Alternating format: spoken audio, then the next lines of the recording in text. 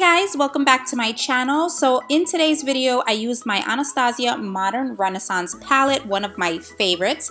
And I just show you guys how I got this eye look. It's really simple and easy. So please don't forget to subscribe and like this video as well. And I already primed my eyes with Max Ochre Paint Pot. And then I'm to go in with Burnt Orange from the palette and just put that right into the crease. I think Burnt Orange is like this perfect, perfect color. I, I just don't even know how to describe it unless you have this palette.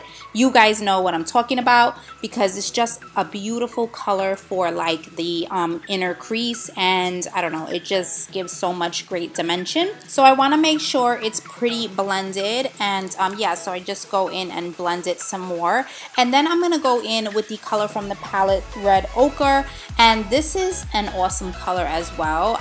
I don't have anything in my collection that even resembles this color. I just love it.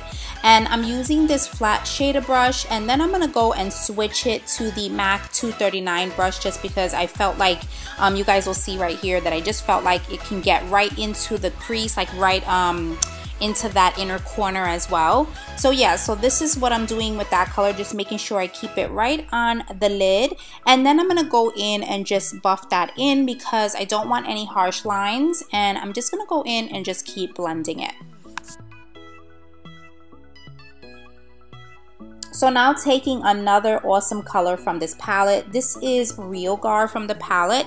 And I am taking this brush here. I think this is my MAC 217 brush. And I'm buffing that into the outer corner. And I want that to peek through that burnt orange color. So yeah, so then I'm just going and blending it in with my Sigma E40 because that gets really precisely in that crease and I don't want any harsh lines. So taking the color Tempera from the palette, I'm just going to put that on my brow bone just to highlight. And then I'm going to go back in and I'm going to just buff it out a little bit more because I don't want any harsh lines.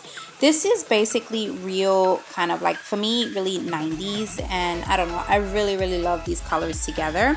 And then I'm going in with my NYC liquid liner in black and I'm doing my winged liner as per usual like I always do. So now just taking Benefit's They're Real Mascara, I'm just going to prep my lashes for the falsies and throw those on.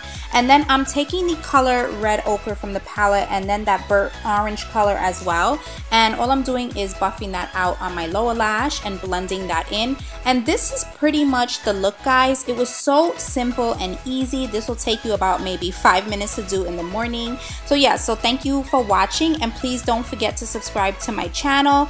And as always guys, I love you and yeah, see you soon.